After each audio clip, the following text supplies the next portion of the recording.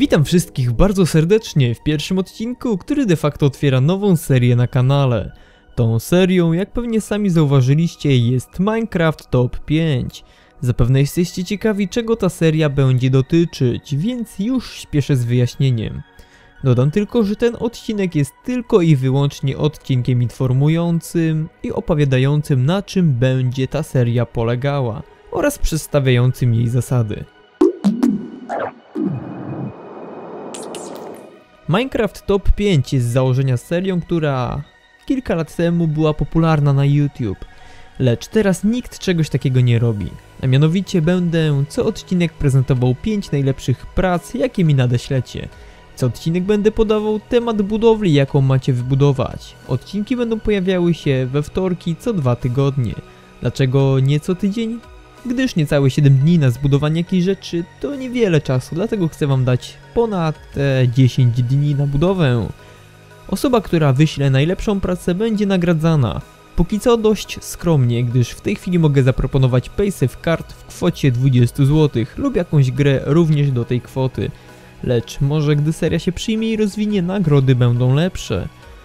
Te nie będą wysyłane bezpośrednio po wrzuceniu odcinka, gdyż aby zapobiec ewentualnym kradzieżom będę czekał około tygodnia, aby się upewnić, że nic nie zostało skradzione.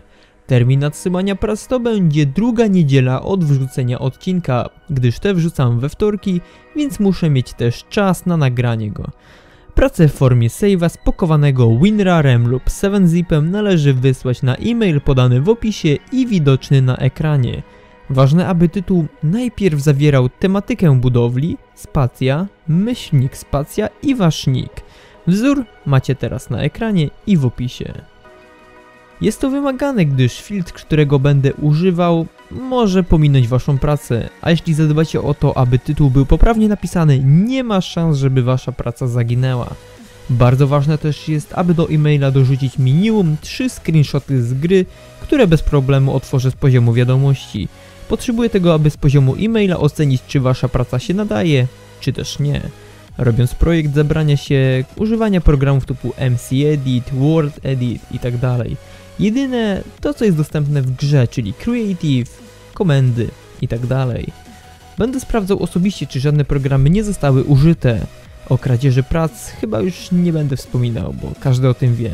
Każda osoba, która zajęła jakieś miejsce otrzyma punkty. Za piąte miejsce jest jeden punkt, za czwarte miejsce są dwa punkty, za trzecie miejsce są trzy punkty, za drugie miejsce są cztery punkty oraz za pierwsze miejsce jest pięć punktów. Po co ta punktacja? Na razie wam tego nie zdradzę, ale w przypadku przykład kradzieży wasze punkty się resetują i osoba, która coś ukradła dostaje permanentny zakaz brania udziału w serii. Warto też dodać, że będą na koniec pokazywane prace, które się nie dostały do top 5, ale spełniają regulamin i mogłyby być w tym top 5, gdyby nie było prac lepszych od tych. Tak więc temat na kolejny odcinek to wioski villagerów. Termin nadsyłania prac to 22 stycznia 2017 rok. Wybrałem dość, wydaje mi się, prosty temat. Dlatego na wykonanie tego macie niecały tydzień. Wspomnę też, że w komentarzu możecie pisać propozycje na temat przyszłych budowli. Tak więc, uch, na dziś to byłoby na tyle. Liczę, że seria się przyjmie. Dzięki za obejrzenie, trzymajcie się, do usłyszenia, siemanko i cześć.